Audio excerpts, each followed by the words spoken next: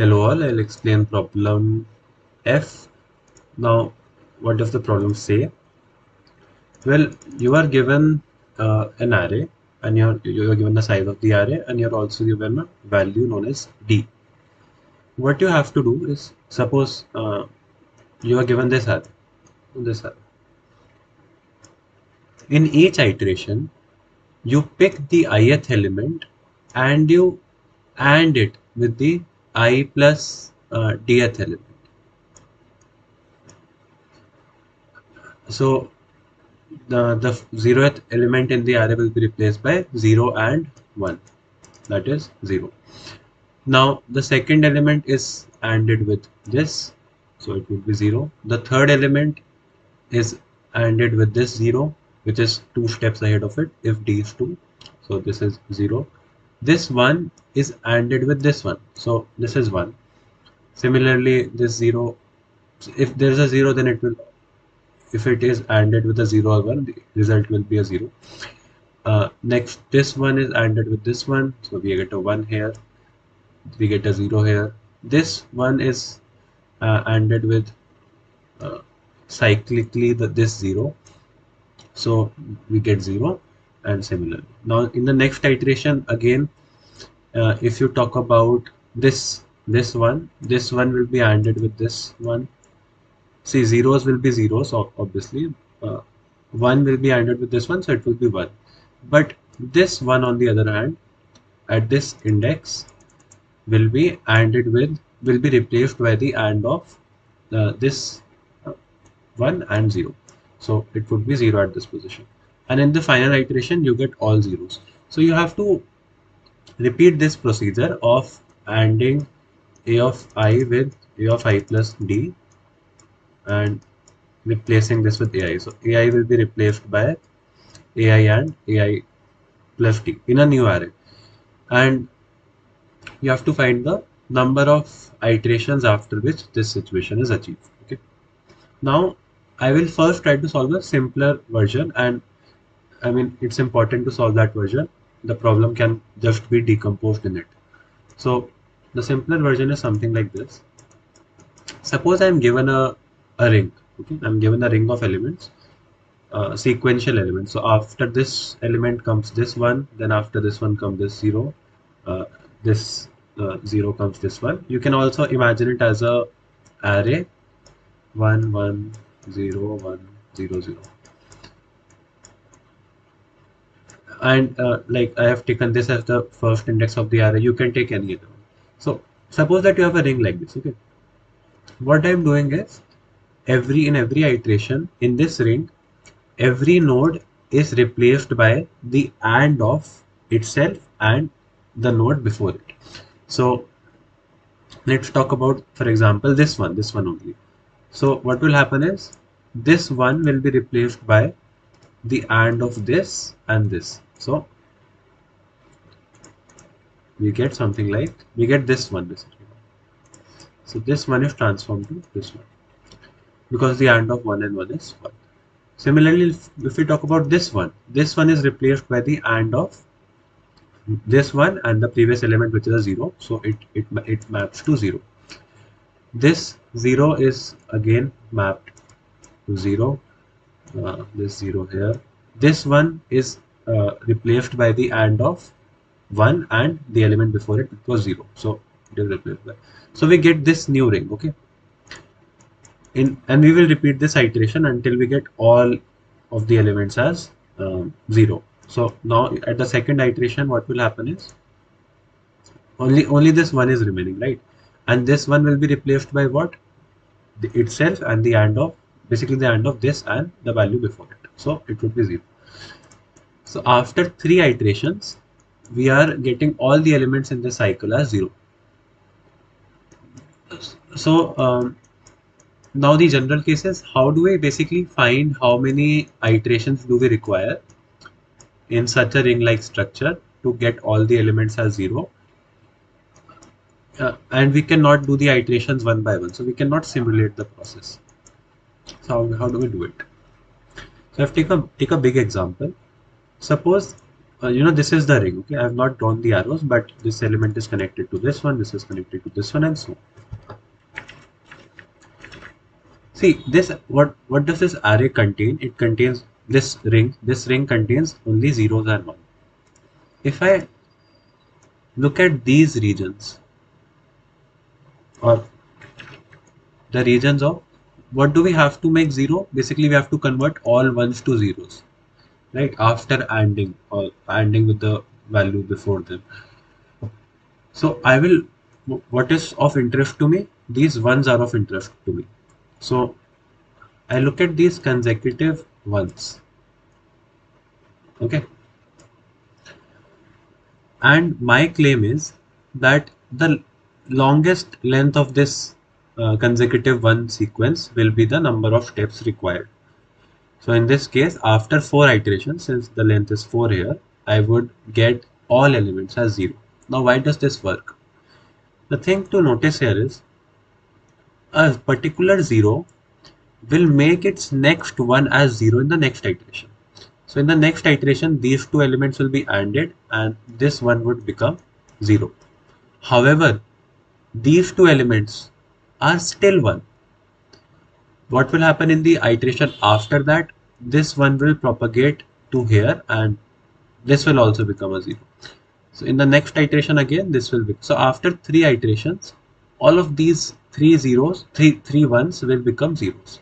Similarly after 2 iterations uh, in the first iteration these two elements will be ANDed and this one will be converted to 0. In the next iteration these two will be ANDed and this one will be converted to 0. So I hope you understand why I'm talking about the length of the uh, sequence of ones. So that is all we have to do.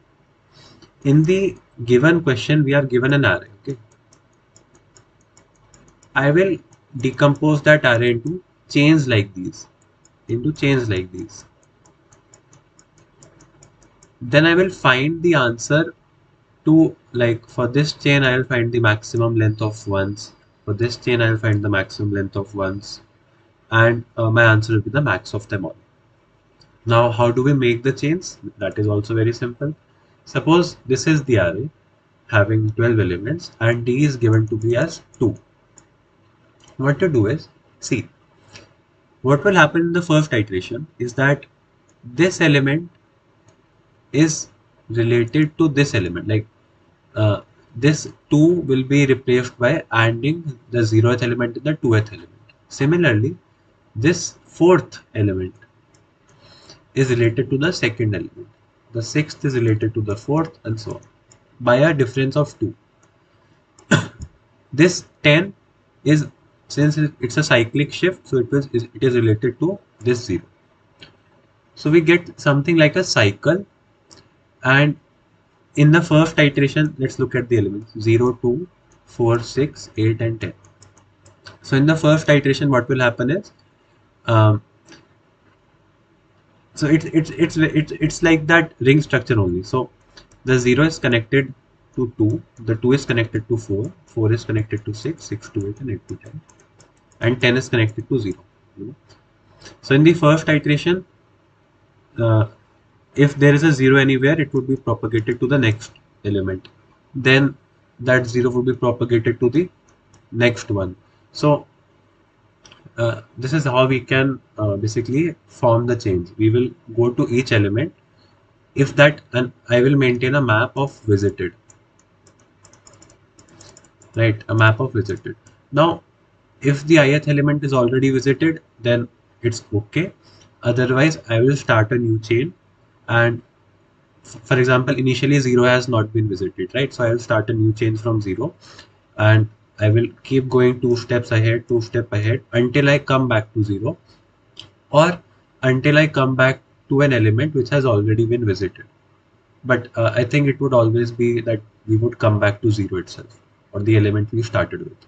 So we'll, we'll go through all of them. And once we have reached the element we started it started with we will uh, put all these index indices in a uh, 2D vector. So this would be the chain one.